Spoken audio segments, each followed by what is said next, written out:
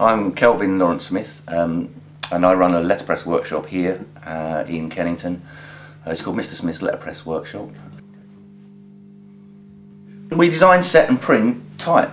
I really like using old technology but I like using it in a contemporary way so um, I use this as the basis for all the work. Uh, I like to uh, work slowly and I like to make things I like to build things so that that general process is something that I try to adhere to everything that I do. I was quite dissatisfied with my education, or elements of my education, and there was a really nice old workshop empty.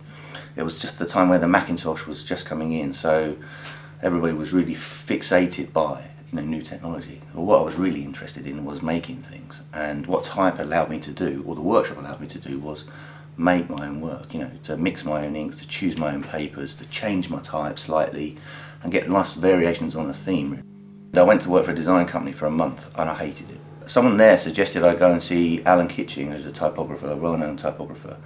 And I went to see Alan, and uh, I showed him my work, and he said it's technically rubbish, you know, um, but I really um, I like it. It's interesting. He said. Um, he said, I can't pay you much, but I can teach you everything I know. And uh, he didn't pay me much, and he taught me a lot. I started working for him one day a week as an assistant, and then built, built into a four-year apprenticeship. So by the time I'd finished that, I'd quite an accomplished background or understanding of how to use type, how to explore design through typography.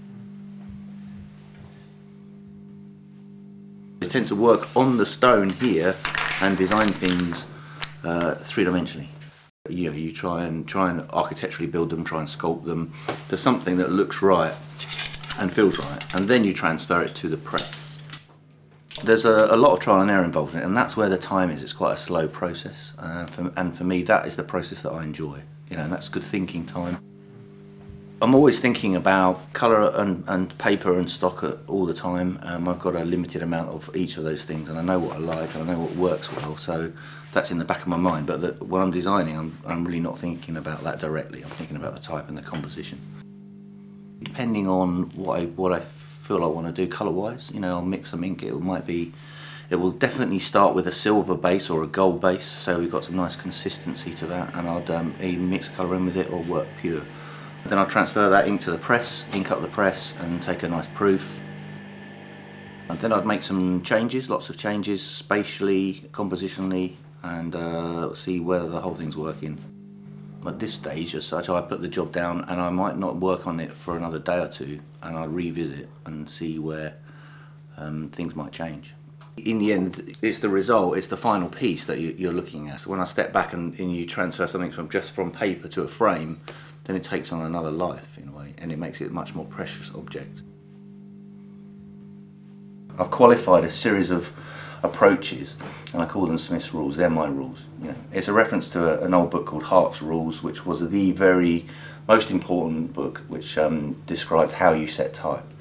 Now, for me, Smith's rules is just a series of rules that I go by. Uh, there are a series of measurements, there are a series of typefaces, and there are a series of words per line.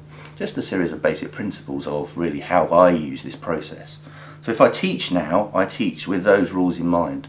What it does primarily is simplify the process to people because you could, it, it's pretty infinite and you could make lots and lots of different choices. So I simplify that, just like I simplify the choice of typefaces.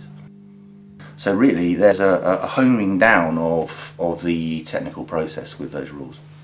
those rules for me uh, are there to be broken and there to question, but they're mine and I'm allowed to then address them.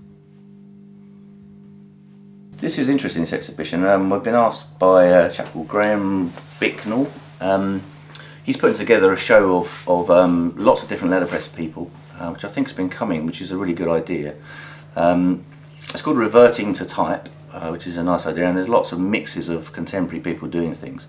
For me, uh, what I'd like to show is a, a series of work which is uh, deals with the rules that I'm I have here and my educational stance on the, on the work that I'd like to make, but also on the behaviour of people in and around London at this moment. So what I think is interesting about this current show is that it's a real mix of different sorts of people, from graduates that have left this year to master typographers that have been trading, you know, or designing for 30 to 40 years.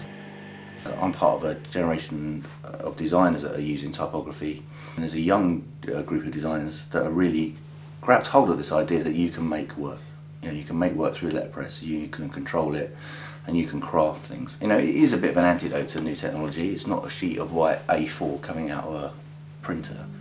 So I like terminology to be accurate, but I think things do evolve. You know, I feel that you're allowed to explore things with it, and but there is a set of rules, really, grammatical rules. As long as you understand those, I think you can play with it.